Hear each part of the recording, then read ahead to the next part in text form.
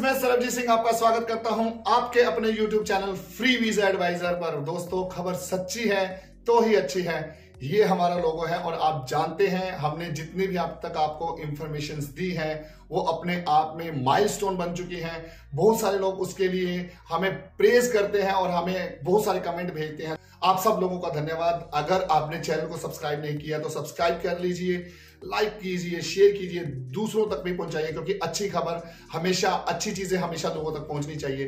तो दोस्तों पिछले दो वीडियो जो तो हमारे पहले वीडियो में मैंने आपको बताया था कि आप किन किन कंट्री के अंदर अप्लाई कर सकते हैं शैनिगन कंट्री के अंदर वीज़ा के लिए और दूसरे में मैंने आपको बताया था कि उसके लिए डॉक्यूमेंटेशन क्या होगी। और आज मैं आपके सामने तीसरे पार्ट के अंदर जो कि अंतिम पार्ट है उसके अंदर बताना चाहता हूँ कि कौन कौन सी कंट्री आपको अप्लाई नहीं करनी। ये भी बहुत इंपॉर्टेंट है क्योंकि कुछ लोग अ, या तो अपने आप से, या कोई जिनको नॉलेज नहीं होती, उन जो एजेंट्स होते हैं, उनके ज़रिए अप्लाई कर देते हैं। लेकिन दोस्तों, मैं आप लोगों को बताना चाहूँगा कि आप खुद से अप्लाई कीजिए। एम्बेसी बहुत खुश होती है कि अगर एप्लीकेंट खुद से ही अपने सारे एफर्ट्स करता है तो ये बहुत बड़ा एक एक एडवांटेज है आप लोगों के लिए।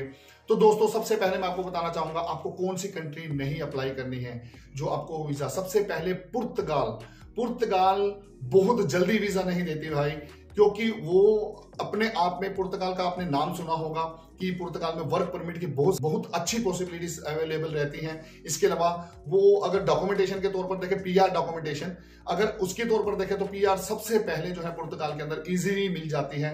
तो अगर वहाँ तक पहुँचना है तो वहाँ तक पहुँचने के लिए आपको पुर्तगाल एम्बेसी को इंप्रेस करना होता है अपने डॉक्यूमेंटेशन से अपने स्टेटस से। तो दोस्तों बहुत मुश्किल से वीज़ा मिलता है। दूसरा है नीदरलैंड नीदरलैंड का वीज़ा भी बहुत मुश्किल से मिलता है। वो भी अ, उनका जो सक्सेस रेट है बहुत कम है।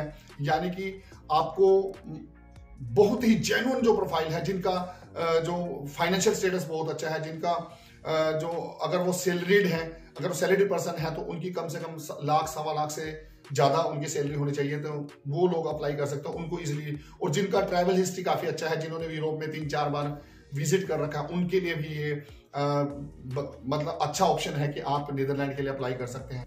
इसके अलावा स्विट्जरलैंड स्विट्जरलैंड का वीज़ा लेना भी बहुत मतलब टेढ़ी खीर माना जाता है, क्योंकि वो भी बहुत ज़्यादा लीनियंट नहीं है वो बहुत ज़्यादा स्ट्रॉन्गली बिलीव करते हैं कि जो डॉक्यूमेंटेशन है हमारे सामने आई है उसे अच्छे से क्रॉस चेक किया जाए और अच्छे से उनको अ, मतलब देखा जाए तभी करके जो है ना वो उनको वीज़ा दिया जाए। स्विट्जरलैंड के वीजे के लिए भी आप थोड़ा सा सोच सकते हैं क्योंकि अगर आपके पास बिल्कुल स्ट्रॉन्ग रीजन है यानी कि आपकी फाइलिंग अच्छी है आपके विज़िट जो हिस्ट्री है वो ट्रैवल हिस्ट्री है बहुत अच्छी है और आपका फाइनेंशियल स्टेटस बहुत अच्छा है तो आप इसको अप्लाई कीजिए अदरवाइज़ अप्लाई करने की कोशिश मत कीजिए। तो और फिनलैंड। फिनलैंड भी एक बहुत ही टफ कंट्री है जो वीज़ा देने में बहुत कोताही बरतती है। जल्दी कहीं वीज़ा नहीं देती। उसके लिए भी आपको बड़ा स्ट्रॉन्ग करेक्टर उनके सामने खड़ा करना होता है। तो ये भी बहुत इंपॉर्टेंट एक अ, अ, मतलब विषय है कि हमें इस इस कंट्री के लिए अप्लाई करना चाहिए या नहीं करना चाहिए।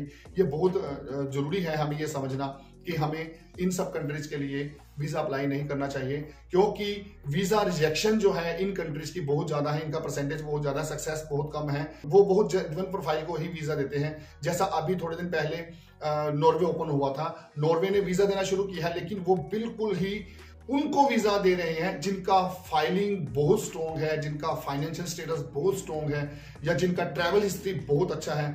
आपको पता ही होगा कि नॉर्वे ने बहुत टाइम से लगभग लगभग डेढ़ साल जो है इसको बंद रखा है। ट्रैवल को अपने वहाँ पे बॉर्डर को बंद रखा है। वो इसका कारण ये था कि वो कोई भी रिस्क नहीं लेना चाहते थे। अब जो वो करना चाह रहे हैं, उसके मुताबिक वो केवल उन्हीं लोगों को वीज़ा देंगे जिनके ऊपर वो स्ट्रांगली बिलीव करते हैं और वो बिलीव उनको कराएगा आपका फाइलिंग तो दोस्तों, ये कुछ कंट्रीज़ थी जिनके अंदर आपको वीज़ा नहीं अप्लाई करना चाहिए, क्योंकि वीज़ा कहाँ अप्लाई करना चाहिए, ये तो इंपॉर्टेंट है, कहाँ नहीं करना चाहिए, ये भी बहुत इंपॉर्टेंट है. इसलिए मैंने आप लोगों के लिए इस वीडियो के ज़रिए आपको बताने की कोशिश की है कि आप इन कंट्रीज़ के अंदर वीज़ा अप्लाई मत कीजिए. और इसके अलावा मैं दोस्तों कहना चाहूँगा, खबर सच्ची है तो ही अच्छी है. इस मोटो के ऊपर काम करते करते फ्री वीज़ा एडवाइजर इस मोटो पर काम करते करते दस हज़ार से भी ज़्यादा सब्सक्राइबर्स के पे निकल गया है। इन सब के लिए आप लोगों का धन्यवाद। आप लोगों ने बहुत अच्छे तरीके से हमें प्यार दिया लाइक शेयर और सब्सक्राइब करके आपने हमें बहुत हौसला दिया और उस हौसले की बदौलत हम लोग बहुत आगे निकल गए और आज आपके सामने खड़े हैं और इतने कॉन्फिडेंस के साथ हम लोग वीज़ा भी लेकर आ रहे हैं, आपकी फाइलिंग भी कर रहे हैं, आपके हर प्रकार से हेल्प भी कर रहे हैं। इसके अलावा अगर आप टिकटिंग करना चाहते हैं टिकट के लिए भी इनडायरेक्ट रूट के लिए भी डायरेक्ट रूट के लिए भी, किसी भी प्रकार की हेल्प के लिए आप डिस्क्रिप्शन में दिए गए नंबर के ऊपर संपर्क कर सकते हैं। वो मेरा खुद का नंबर है, मैं खुद इसे मॉनिटर करता हूँ। जितने भी लोग हमारे यहाँ से जाते हैं, हम लोग उन्हें खुद मॉनिटर करते हैं। जब तक वो कनाडा या अपनी डेस्टिनेशन तक नहीं पहुँच जाते, हम उनको एंड तक पूरा का पूरा सपोर्ट देते हैं। तो मैं हमेशा ही ये कहता हूँ कि अगर आपको बिलीव है, आप बिलीव करते हैं कि फ्री वीज़ा एडवाइजर आपके लिए ये कर सकता है तो आप हमेशा ही हमें सपोर्ट करते रहिए और जुड़े रहिए, क्योंकि और भी बहुत मैं इंफॉर्मेटिव वीडियोस लेकर आप लोगों के सामने आने वाला हूँ। और अगर आप सब्सक्राइब कर लेंगे तो सबसे पहले आपके पास खबर पहुंचेगी। और वो खबर आप तक अगर पहुंचेगी तो मेरा मकसद सिद्ध हो जाएगा कि मैंने सही इंफॉर्मेशन सही लोगों तक पहुँचा दी। दोस्तों दोस्तों, इन्हीं शब्दों के साथ बहुत बहुत धन्यवाद आप लोगों का प्यार देने के लिए। तो इतना ही कहना चाहूँगा। हमेशा की तरह see you later God bless you wish all the best thank you have a nice day may God bless you